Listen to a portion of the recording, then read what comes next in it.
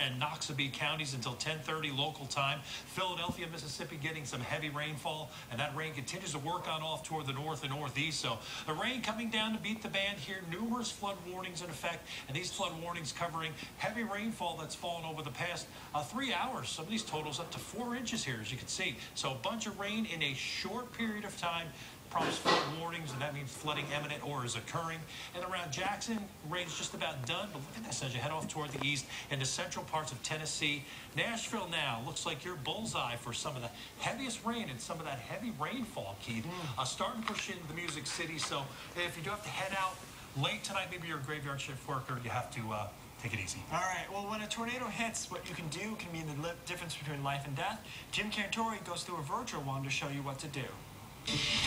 Tornadoes, raging tubes of unstoppable destruction. With winds so powerful, they can turn whole towns into a pile of toothpaste. If you find yourself in the path of a tornado, knowing where to take shelter can save your life. Scenes like this happen all too often when large, destructive tornadoes hit towns across America, leaving them in utter destruction. But what you see here isn't exactly as it seems. As real as this looks, I'm actually at the Guardian Centers here in Perry, Georgia, which is a huge 830-acre facility designed to recreate disasters for preparedness and disaster response training. Scott, is a first responder, what would you recommend when a tornado warning is issued?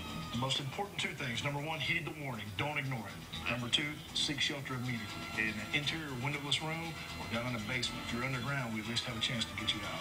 I've been in dozens and dozens of aftermath situations, but I've never been through a tornado. So what they did here is set up a situation where I could actually go through a simulated tornado in the bathroom. We had him running, and dive in the bathtub, and we shook the walls back and forth to simulate the tornado. I can feel the walls shaking already. I can feel and hear debris crashing all around. But I actually kind of felt safe.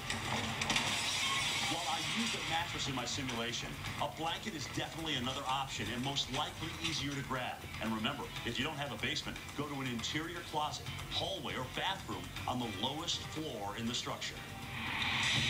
Being below ground is the best place to ride out a tornado.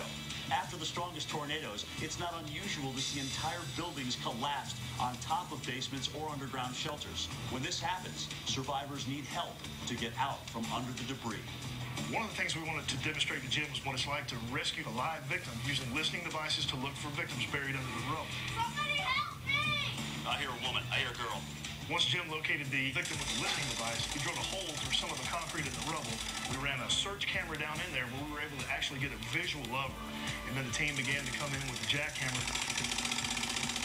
We created a big hole in the concrete, large enough for us to pull her up through and rescue her from the void space. My biggest takeaway today is if you can do the right things and you can do them quickly, get in a storm shelter or get in an interior room, you're going to give yourself a chance to survive.